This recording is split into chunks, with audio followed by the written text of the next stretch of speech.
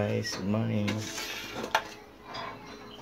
Gagawa ko ng isang lampshade. Gusto ko sanang bumili pero ito na lang gagawin ko. Makatipid pa ako. Isang lata ng cookies, wala ng laman. Isang pitcher na hindi na ginagamit. Bumbilya. At isang lagari ito. Gawin ko yan para nagamit na rin. Sayang naman kung itapon. Few moments later.